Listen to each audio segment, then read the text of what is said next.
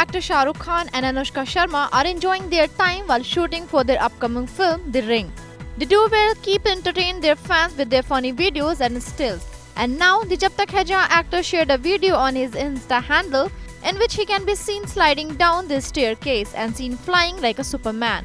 And by posting the video, SRK wrote, If you believe you can fly, you can. Well, almost. Directed by Imtiaz Ali, this is the third time when the actors will be seen together on screen. They earlier worked together in films like Rab Ne Bana Di Jodi and Jab Tak Hai Jaan.